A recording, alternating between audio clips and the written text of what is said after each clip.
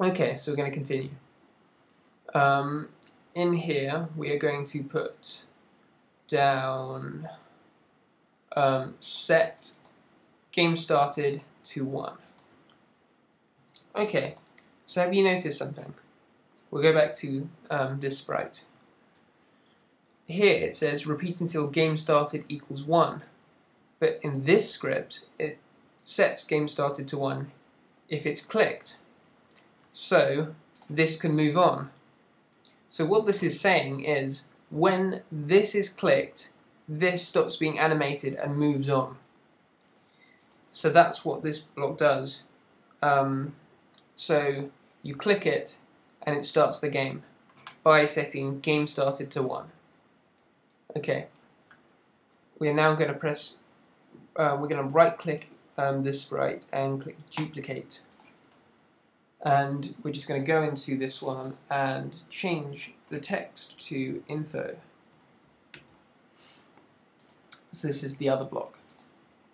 We can get rid of the wait until and the set because we don't need them and we are just going to make this minus 50. So if we just click, look, it's just there. Actually I'm going to make it minus 60 because I want them to be separate blocks and they're they're there and um, they're two separate blocks. Okay, um, next step. We are going to make this one, when you click it, um, it's going to give you the information that it gave you in the other one. So we are going to need another repeat until block. So repeat until game started equals 1. So that's kind of like saying repeat until this block is clicked. And then we're going to put in an if block. So if, and we're going to use the same formula that we used for this one. So we're going to drag in an and, touching mouse pointer, mouse down. Okay. Um, and we are going to um, go into looks, drag out the say hello block. So not the say hello for two seconds, just the say hello. And we're going to put in um, um, steer the car with the mouse. Try to avoid the cars. Um, and and don't touch the grass. So this is essentially just telling the user what to do, how to play the game. Um, and we are going to put a wait until block in, so here. So it's going to stop all of the script until this is satisfied, key space pressed. So it's going to wait until the key space is pressed, and then we're going to drag in say hello again and we're just going to press backspace and that stops it from saying anything. So if we go through the script it says if I'm clicked say this and then wait until space is pressed and when space is pressed then stop saying it. Okay. Um, now we're going to make the background.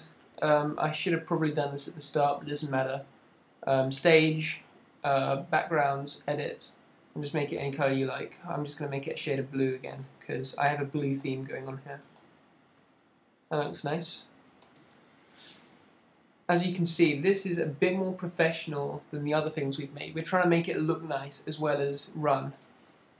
So if you ever went into the future of game creating, this is what you'd have to do. You'd have to make your product look nice as well as just doing what it's supposed to do.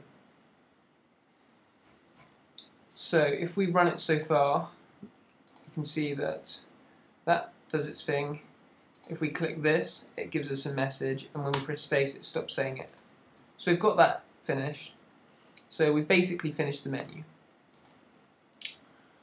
Okay, so now we're going to make it so all of these hide because we want them to hide when the game has started because game started when game game started equals 1, it means that the game has started. So repeat until the game has started to the animation.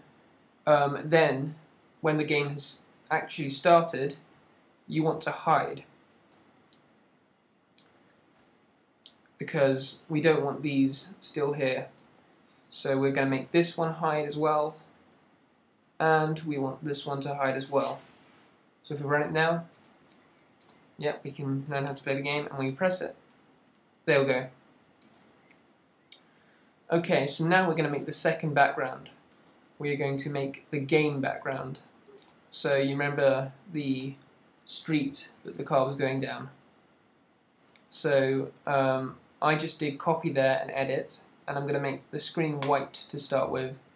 Go to the rectangle tool, pick a shade of green, um, this one, and I'm just going to go to the top left corner um, here, drag across and make some grass here. Then when I'm satisfied, use the stamp tool, go to one of the corners um, over here, drag across, and look, it's copied it and um, moved it to our mouse. So now we want grass on the other side. So make it so it's perfectly aligned. And when you're satisfied, uh, press I'll click and you have two sides of grass. Now use the fill tool and pick one of the shades of grey. Doesn't really matter which. I think the best shade is the very light one. Um, actually, the second to lightest one. I think that looks nice. I think that looks kind of like a road. Okay. So we're actually going to make a script for the stage as well. So when green flag clicked, switch to background 1 because we always want it to start on our menu screen but then we're going to put in a wait until script um, and we are going to say wait until game is started and then switch to background 2 so when the game has started Ooh, oh, I forgot to make these show. That's not really a big error. Um, all we need to do is drag in um, show at the front of all of these. Because um, by default, um, you, you have to tell the game to make stuff reappear. Because if it's hiding, it's not going to automatically make it appear on the screen. You have to say, when the, when the green flag is clicked, always show. Um, so, look, we've got our grassy field.